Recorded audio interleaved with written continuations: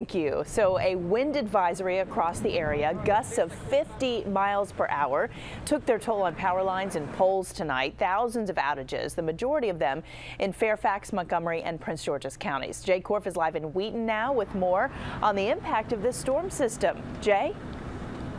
Allison, the wind is howling out here and misery inducing, almost lifts you off your feet when it really, really picks up. In fact, it caused some dangerous problems out here earlier this evening.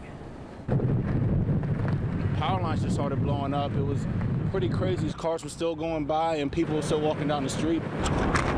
An electrical wire sparking above busy Georgia Avenue in Wheaton turned a windy night into a fearful one terrible, especially them sparks. It's not safe to walk out here. For drivers, homeowners, and pedestrians like Jay Page. Yeah, it's pretty bad. I know it's really windy. These lines like they're about to go pretty soon too.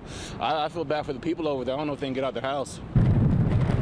Powerful wind gusts rolled in Wednesday night on the heels of a fast-moving storm packed with ominous clouds that dropped buckets of rain on the region.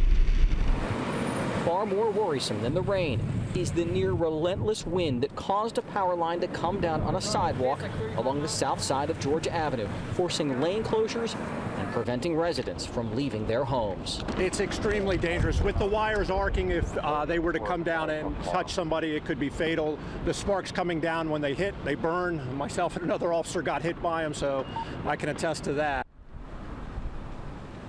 And thankfully, just a short time ago, Pepco did come out here, turned off the power, so those lines are not arcing anymore. But because of these high winds, it remains to be seen how long it will take Pepco to repair the damage. Live in Wheaton, Jay Korff, ABC 7 News. Thank you, Jay.